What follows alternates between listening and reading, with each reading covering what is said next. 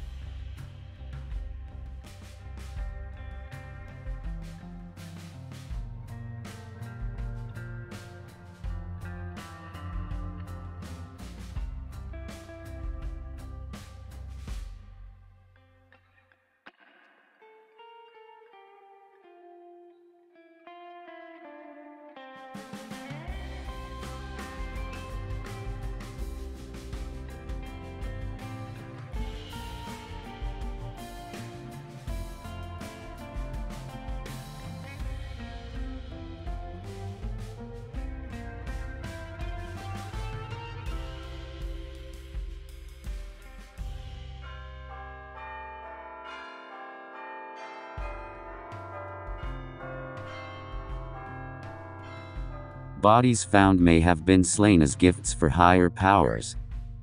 The great civilizations of Mesoamerica killed people, smashed food and sank treasure to pay their debts to their gods. The ancients could kill you in a million different ways and give you a million different reasons why it needed to be done.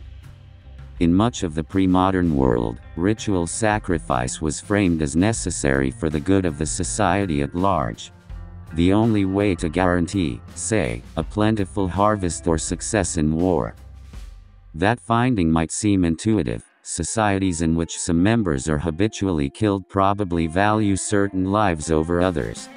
But it has broader implications. The researchers suggest a darker link between religion and the evolution of modern hierarchical societies they write, in which ritual killings helped humans transition from the small egalitarian groups of our ancestors and the large, stratified societies we live in today. But the priests and rulers who sanctioned such killings may have had another motive. A new study suggests the practice of human sacrifices tended to make societies increasingly less egalitarian and eventually gave rise to strict, inherited class systems.